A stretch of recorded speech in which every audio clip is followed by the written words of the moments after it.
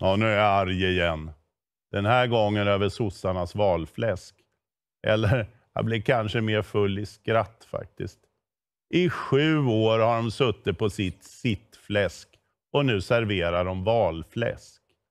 Magdalena Andersson hon säger i en intervju i Dagens Nyheter att regeringen ska se till att utvisa fler brottslingar. Man ska citat signalera hårdare tag, slutcitat, som det heter. Vi ska utvisa fler brottslingar. Det handlar i grunden om tilltron till det svenska rättssystemet. Det säger Magda Andersson. Okej, okay. men det är ju så dags nu efter två förlorade mandatperioder med en grov kriminalitet som har exploderat. Magda Andersson, hon visar handlingskraft. Hon var en av dem som inte citat såg det komma, slutcitat. Och de kriminella gängen de skrattar läppen av sig åt det löjliga svenska rättssystemet. Från Sverige blir man inte utvisad i första taget.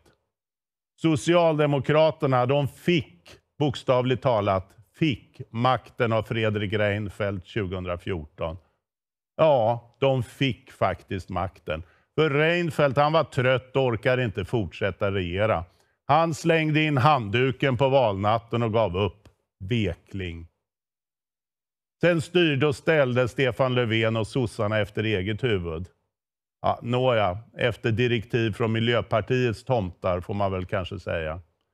Samma tomtar som styrt alliansen mellan 2011 och 2014. Ja, då blev det inte många barn gjorda eller brottslingar utvisade. Tvärtom exploderade kriminaliteten under Löfvens båda regeringsperioder.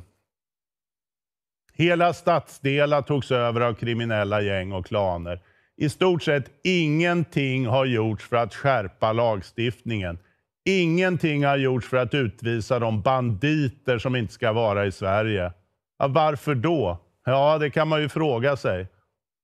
Ingen prioriterad fråga tydligen. Men framåt kvällen får den late brott, som han säger. Nu, i elfte timmen, då ska Andersson visa handlingskraft och verkligen se till att utvisa de som ska utvisas. Och borde ha varit utvisade för länge sedan. Okej, okay. men det innebär alltså att hon antingen vill möjliggöra fler utvisningar eller se till att de som borde ha utvisats verkligen kastas ut. Gissningsvis handlar det om det senare. Men då inställer sig ändå frågan, varför är de inte utvisade redan? Varför kunde en figur som massmördaren Akilov hålla sig kvar i Sverige fram till våren 2017 trots att han skulle ha utvisats redan 2016? Varför utvisas inte grovt kriminella direkt efter avtjänat straff? Vad har de i Sverige att göra? Ut med dem bara! Hur svårt kan det vara? Visst, det är svårt att inte hålla med Magdalena Andersson. Kriminella ska utvisas. Men varför kommer just denna fråga upp så lägligt inför valåret 2022? Ah, det är klart att detta bara handlar om valfläsk. Ett sätt att försöka återta initiativet. Men jag har svårt att tänka mig att Magda och gänget kommer att lyckas. Jag tror det först när jag ser det. Seeing is believing. Det var Janvalls tankar kring sossar som lagar valfläsk åt oss. Tack för att ni tittar på Riks.